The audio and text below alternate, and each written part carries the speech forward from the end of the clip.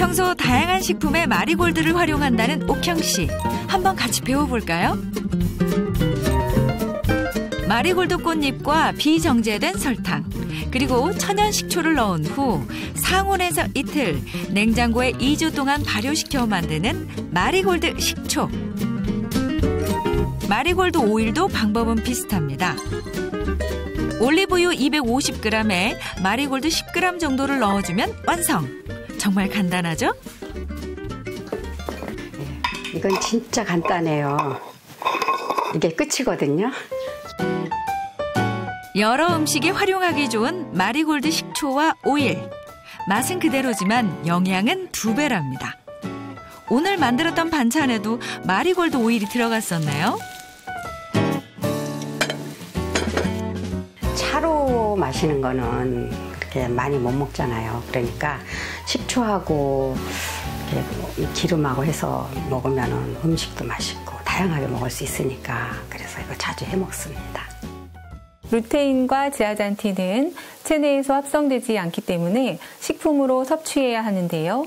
황반에 들어있는 루테인과 지아잔틴의 비율을 고려하면 두 성분의 비율이 4대1 정도로 섭취하는 것이 좋습니다.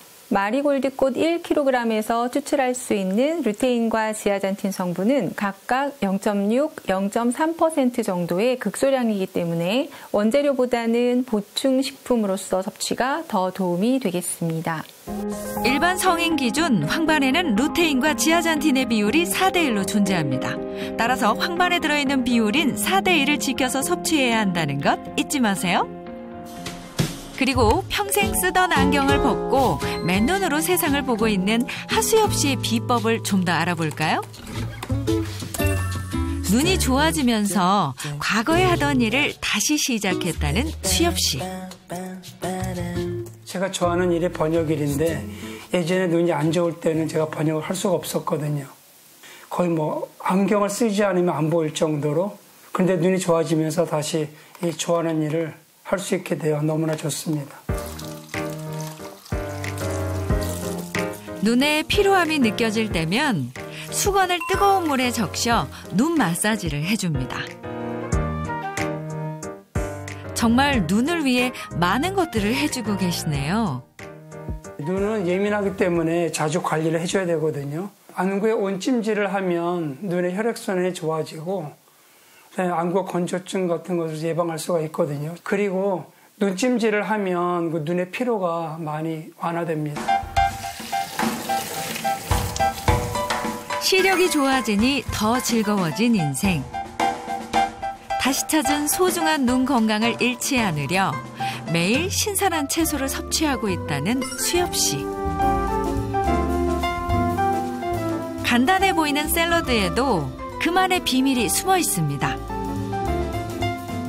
생야채를 먹는 게 더 영양이 좋다고 제가 얘기를 들었습니다. 그리고 시금치는 데치지 않고 생거로 먹으면 더 단맛이 나고 먹기가 좋습니다. 옆에 있는 그 노란 거는 그 마리골드, 루테인이 풍부하게 들어있어서 눈에 좋다고 들었습니다. 그래서 10년 넘게 같이 샐러드를 해서 먹고 있습니다. 시금치 등의 녹황색 채소에는 눈에 좋은 루테인, 지아잔틴 성분들이 함유되어 있습니다. 특히 금자나라고도 불리는 마리골드에는 시금치보다 더 많은 양이 함유되어 있다고 알려져 있는데요.